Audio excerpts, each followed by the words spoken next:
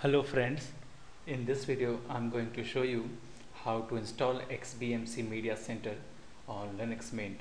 So XBMC is an open source media player and entertainment hub for digital media.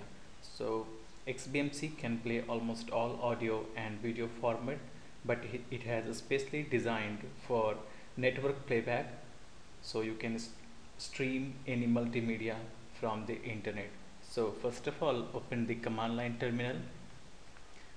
And as it is in the repository so you can install it directly. Give this command sudo apt get install xbmc hit enter and give your password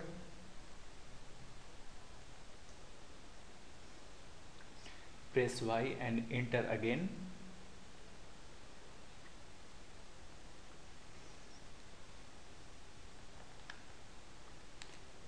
So it has started downloading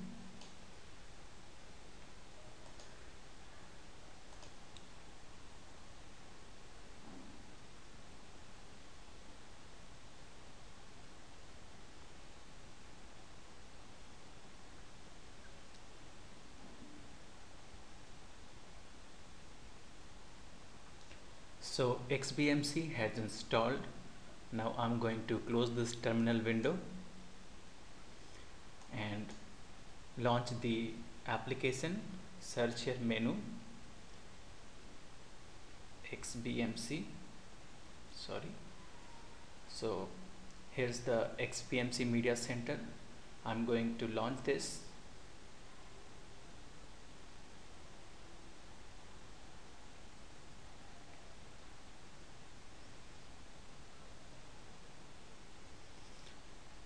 this is the welcome screen for XBMC media player.